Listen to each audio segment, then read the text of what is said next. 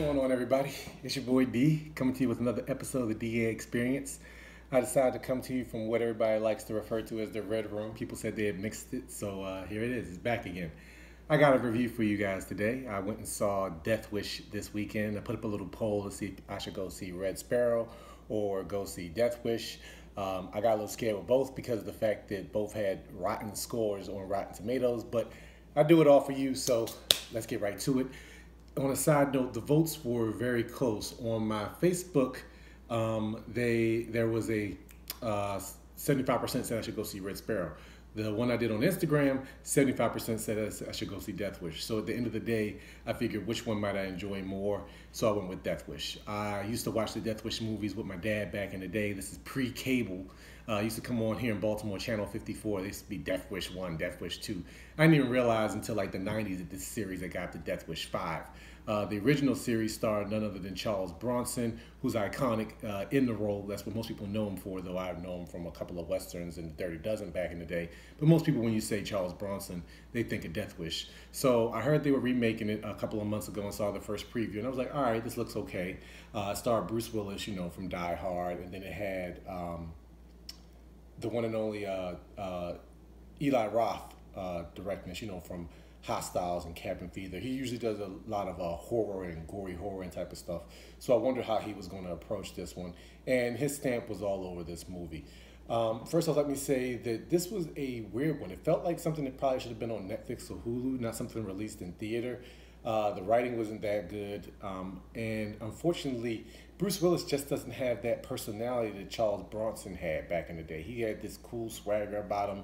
He came off, as you know, he could be a little crazy and he could be a little, little like just straight up intense with his stuff. And Bruce Willis just didn't bring that. Most of his stuff, they had a light amount of humor to the role, uh, like Die Hard, and but this one just didn't didn't do it for me. It didn't. It, he didn't have that that I don't know that aura about him that made me think like this is a guy that could be doing this.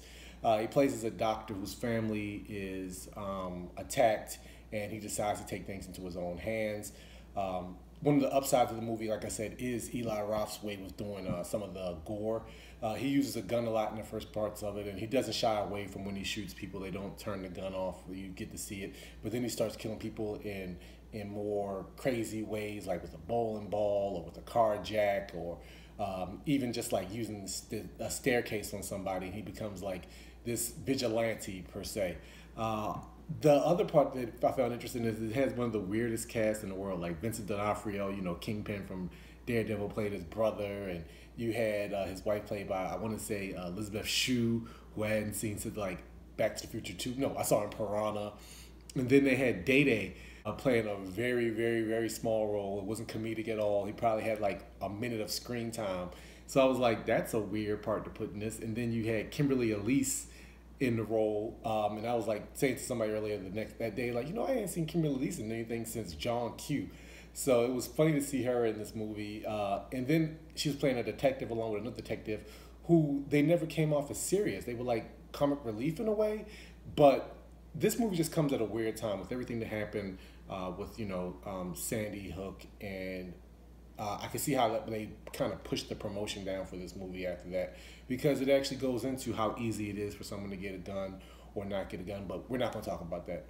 Um, all in all, I not say I was let down. It's just this movie was just forgettable. Uh, like I said, the writing is really bad and it's very hokey. They try to put a lot of puns in the movie, like they make fun of cops, like talking about donuts, and one of the cops is like on a diet and like for some reason this is an underlying plot the whole movie i guess to make him more um, you know fan friendly and acceptable but it just it doesn't work. Uh, the villain is kind of like oh yeah i'm a bad guy. I, I'm, I'm slithery i'm slimy. So everybody was pretty much one dimensional and it could have been done a lot more it could have been a lot of action. It did you know set up this guy's past and his family really well but where something that could have been 20, 25 minutes long, this went on for 45 minutes. I looked at my watch and I'm like, okay, we haven't even got to the attack yet, and we're already almost an hour into the movie. And the movie's only an hour and 45 minutes long. After that, things kind of go pretty quickly, but I would like to see them do a little bit more of the vigilante stuff a little bit longer. I felt like as the Death Wish series went along in the movies, the original one, it got bigger and bigger. But to me, this seems like this was just something Eli Roth wanted to do to see if he could do like gory deaths without doing a horror movie, and it just fell flat to me.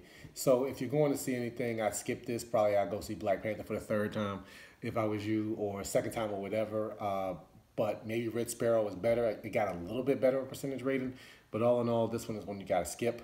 Uh, so that's going to do it for me today, folks. Don't forget to like, subscribe, um, leave comments below if you, of what you want me to go see next. March hopefully is a little bit better in the movies.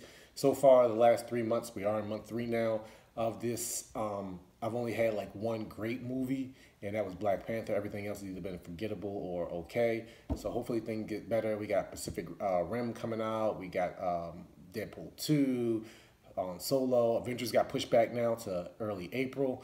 But uh, let me know at the bottom in the comments what you want me to see next, or if you saw this, what you thought about it.